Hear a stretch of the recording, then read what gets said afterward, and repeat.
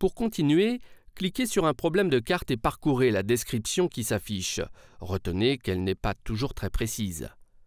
Comme décrit avant, en cliquant un problème de carte, l'éditeur affiche trois éléments, la ligne verte, la ligne rose et les punaises A et B. À partir de ça, c'est à vous de déterminer la nature du problème et de le résoudre. Voici quelques exemples de problèmes récurrents que vous pourriez trouver et la façon de les corriger. Connexion manquante. Dans ce cas, la ligne verte indique que les Wiser ont tourné à gauche, là où la carte ne le permet pas, car une connexion manque. Le système ne peut déterminer comment les Wiser sont allés de A vers B. La solution est de créer la connexion manquante en reliant le segment A au segment B, puis vérifier les interdictions de tourner et enregistrer votre travail. Route, segment manquant. Vous constatez que les Wiser ont parcouru une route qui ne figure pas sur la carte.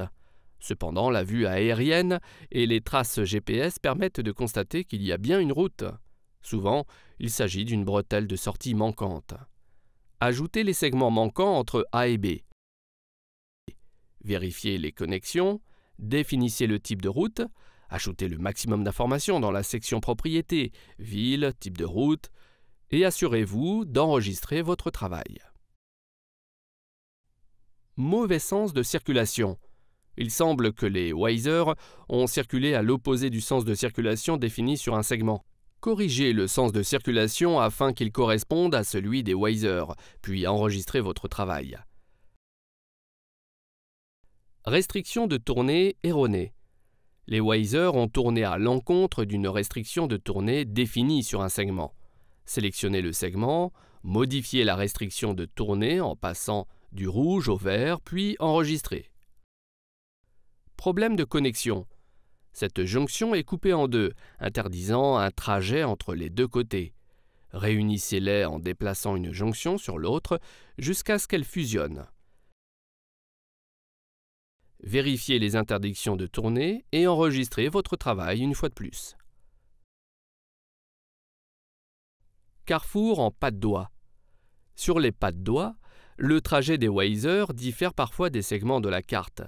Cet écart avec la carte génère un problème de carte. Ajoutez un segment à sens unique selon la route suivie par le Wiser. Jonction mal positionnée. Dans cet exemple, le trajet du Wiser tourne à gauche, bien que selon la carte cela ne soit pas possible. En regardant plus près, on voit que la jonction est mal positionnée et déforme les segments qui y mènent. En déplaçant la jonction au bon endroit, en accord avec les trajets des Wiser et la vue aérienne, vous résoudrez facilement le problème. N'oubliez pas de vérifier les connexions et interdictions de tourner avant d'enregistrer votre travail. Parking. Quand un Wiser circule dans un parking, cela devient délicat. Si Waze ne peut faire correspondre le trajet avec des segments existants, il génère un problème de carte.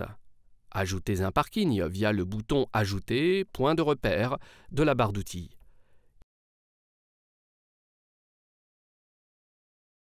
Il est important de bien le typer. Vous pouvez aussi ajouter les principales voies du parking, mais n'oubliez pas de les identifier comme parking.